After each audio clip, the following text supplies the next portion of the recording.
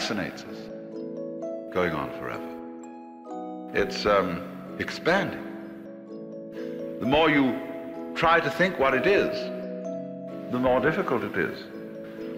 Uh, if you keep on asking questions, everything falls apart. And yet, it hasn't got a floor to fall onto. If space had a concrete floor on the bottom, it'd be pretty dangerous stuff.